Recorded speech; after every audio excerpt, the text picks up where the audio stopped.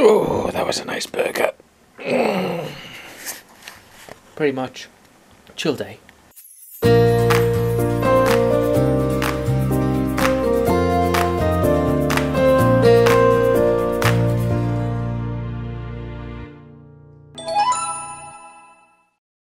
Lovable toast. Toast in the evening, toast for supper. And what's gonna go well with it? Gin and tonic. Okay, it's not professional, but still. It's good. Alright. So another chill, very, very chill day today of just oh, feeling like meh.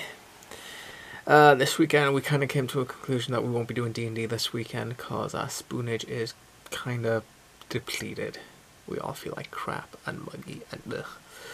Plus as well tomorrow we're going to be occupied with spring cleaning so we're going to get this apartment nice and cleaned up. So that's going to take some time.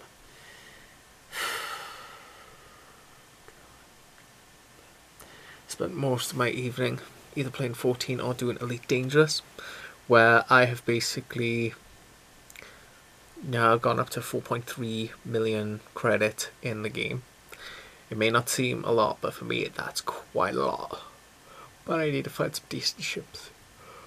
I need to look around see where I can find some decent ships, but also as well, if I keep doing these missions, I could get up to 15 million. Plus, if I get the rep, maybe go for a federal dropship, which very nice.